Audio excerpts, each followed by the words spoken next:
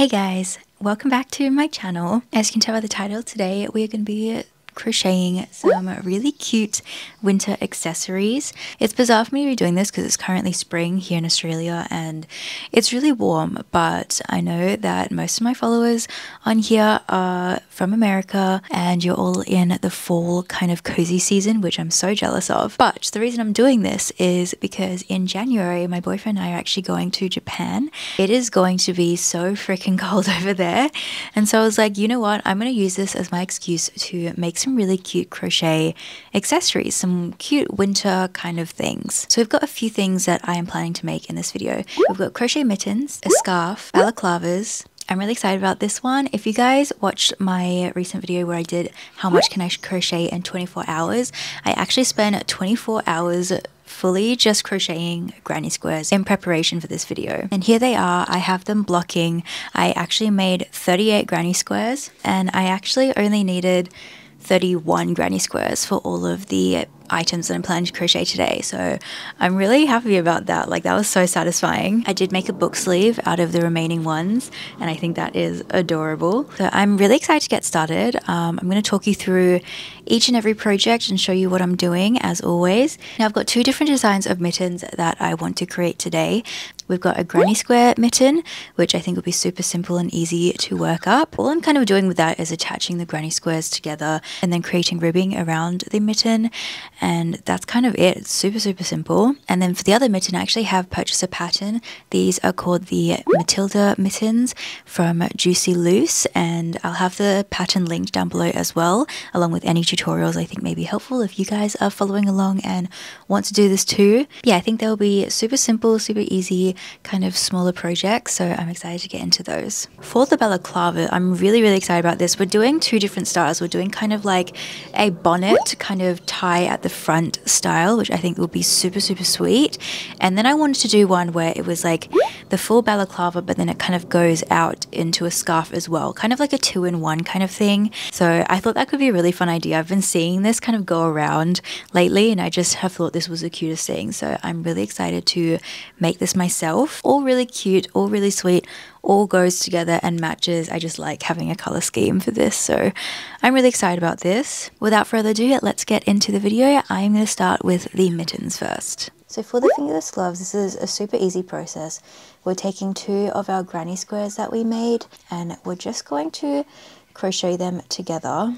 And these are kind of right sides together. So what we're going to be doing is basically just crocheting down the sides here to make the glove.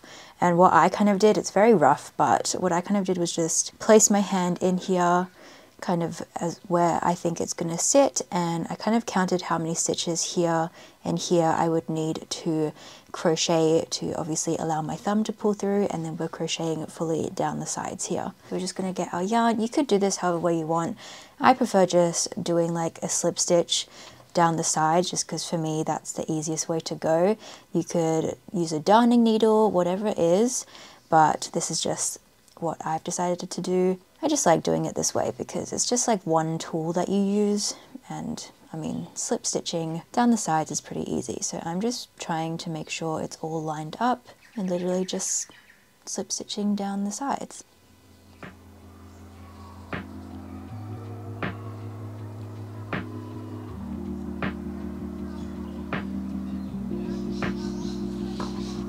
Go. I've got one side done. Now we're doing the other side exactly the same way.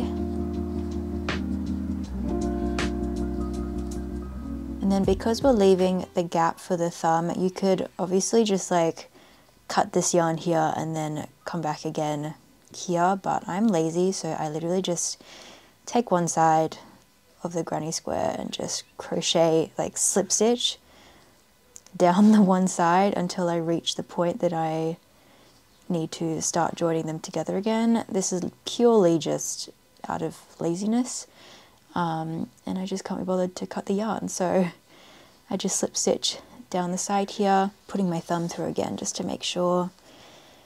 Yep that all looks good. From here I will literally just join them again and you've just not needed to cut that yarn at all Now they're at this part, we are going to be working on the ribbing and there are two ways to do this. Could either just make the ribbon separately and then sew it all on, but again, as you just saw, I could not be bothered cutting that yarn off. I'm going to actually just make the ribbing straight on here and just attach it as I go. So, so what I'm actually going to do now is chain six, three, four, five, six. As you can see here, I've done kind of five and I've done this for both the top and the bottom here.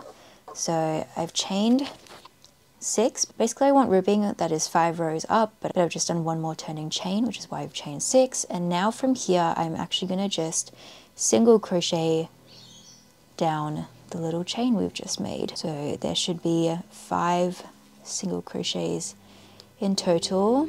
And you can kind of do this as long or as short as you would like. And now that I've done my fifth single crochet, we have to attach it to the actual glove. So, so because my glove is just a little bit too big, I'm actually going to be attaching it. So usually I'd attach it to this one, but I'm actually going to go to the next one. So I'm actually just skipping a stitch every time. So I literally just single crocheted that into that. And then you kind of turn your work and single crochet back loops only back up the single crochets we've just done. And this is what I do the whole way round and that's how I do the ribbing. So I'll show you that one more time. So now I've done that, chain one, turn your work, and we're working back down these five single crochets, working in the back loops only to create that ribbing effect. So working those five crochets, back loops only.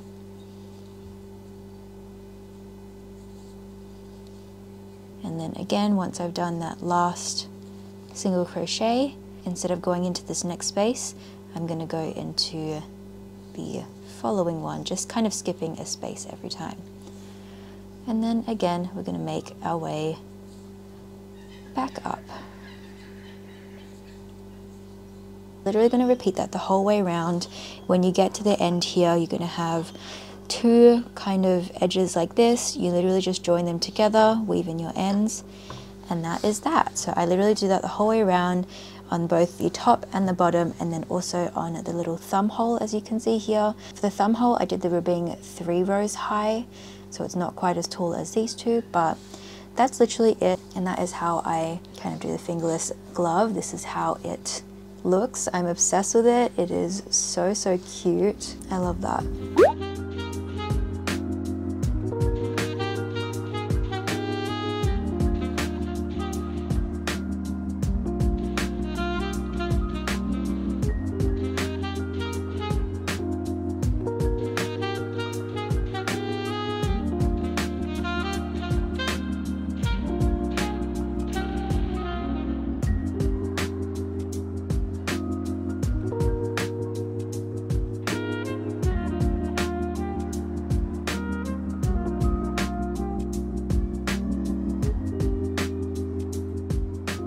Guys. I finished the bonnet last night. How cute. What do we think? I actually can't help but like smile and laugh at myself wearing this. I don't know why. Like, I think it's both the cutest and the stupidest I've ever looked in my life, like simultaneously. And I love it. Like, just imagine me walking the streets of Japan with this little hood on.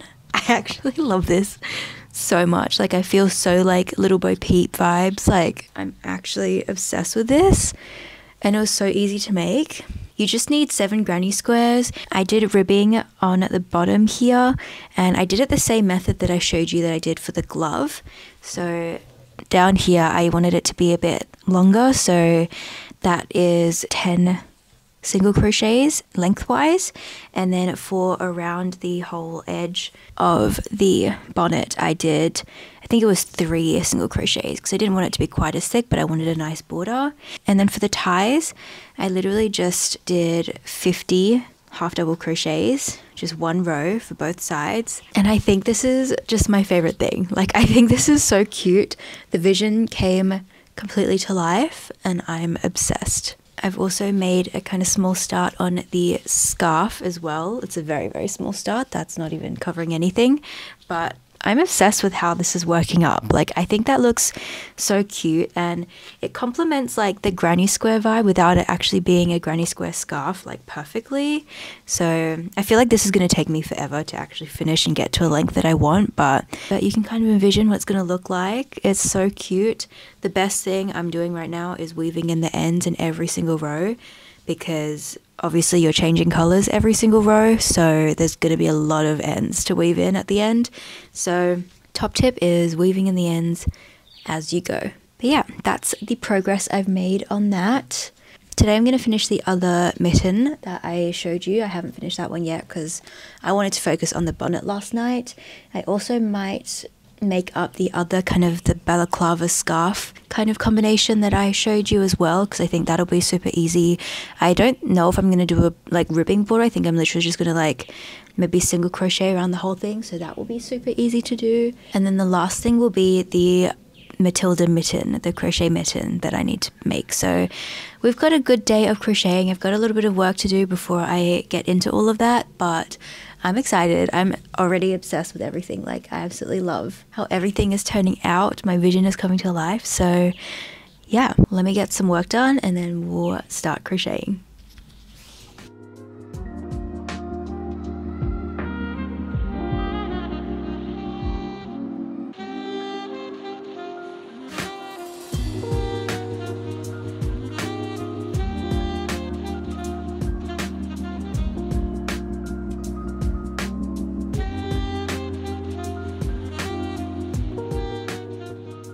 Tried to make the balaclava scarf.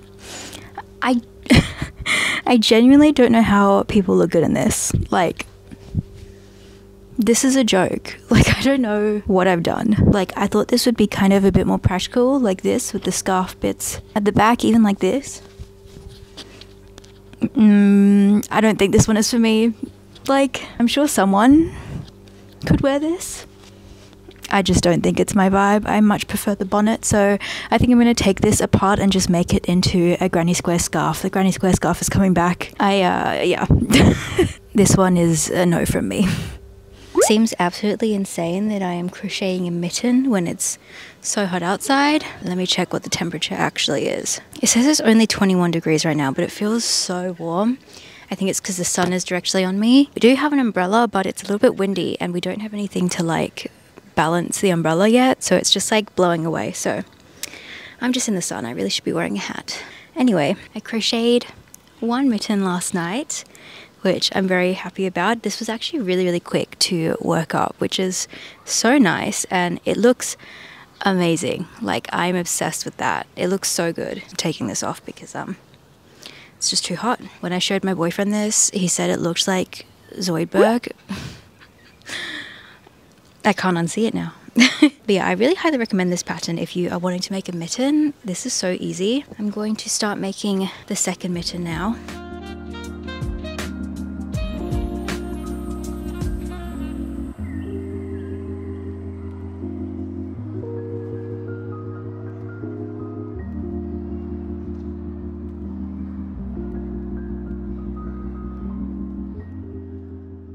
We did it! We are done with all of the crocheted winter accessories. I'm so excited.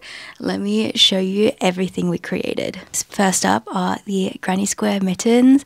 I am obsessed with how these turned out. They're so, so cute and they were super easy to work up and they fit perfectly. The ribbing looks so good. I'm obsessed with how these look. We also have the bonnet. which is possibly just like my favorite thing I've made. Like, look at this all together. I'm obsessed. Like, I absolutely love this so, so much. This is just so, so comfortable. This was so easy to work up. It just involved the seven granny squares and then doing the ribbing and the ties. It just amazing. I love this. We also had the balaclava, which I ended up undoing, like I told you. That one was super interesting. I really loved the idea of it, and I love seeing like other people wear that. But for me, I just, I like this look a lot better. I don't know why. I just, I don't know. I wasn't feeling that. So I told you we turned that one into a scarf. And here it is. It is super long. I mean, it literally is just turned into a long scarf and I just did a half double crochet border around it just to make it look really neat. And here's what we're looking like with the scarf on. I'm absolutely obsessed with all of the matching. Like, I love this so much that it all just goes perfectly together. I mean, this is a look. I'm so excited to walk around Japan looking like this. I'm obsessed. I also did have the other mittens that I made. These ones, the, the, beautiful Matilda mittens by Juicy Loose. I ended up adding pink little bows on it because I had actually seen her do a TikTok where she made red gloves with the pink bows and I loved the look. So I knew I needed to recreate that. So here they are. This pattern was honestly so, so easy, so quick to work up. I believe each glove took me like maybe two hours to do. And I think they look so professional, like they look so, so good. And it's going to keep my hands so toasty and warm in Japan. I also still love it with the look of the granny squares because obviously all the colors still go together. So I'm obsessed.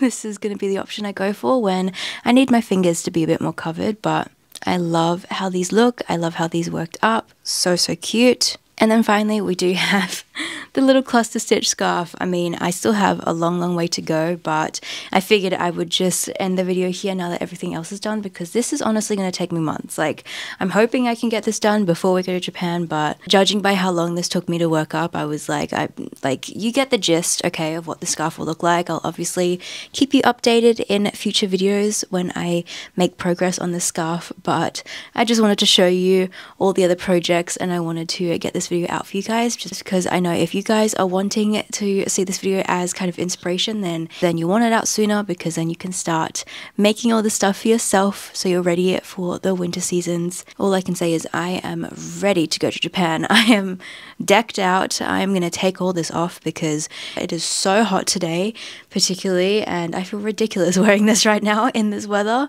but I also feel really, really cute and I'm very excited. If you see me in the streets of Japan looking like this, just I just know I feel great. Just know that this is going to be how I look and I'm loving it. Anyway, thank you guys so much for watching today's video. I really hope you guys enjoyed just crocheting with me, enjoyed getting some inspo on some really cute winter accessories. If you guys make any of these for yourself, please, please, please send me a picture because I would love that. Tag me on Instagram or TikTok or, or wherever it may be. I, again, want to thank you guys so much for watching and crocheting with me, hanging out with me. Yeah, subscribe to my channel if you guys want more crafty girl inspo or just having a crafty bestie here with you guys. So Anyways, thank you guys so much for watching and I will see you guys in my next video. Bye!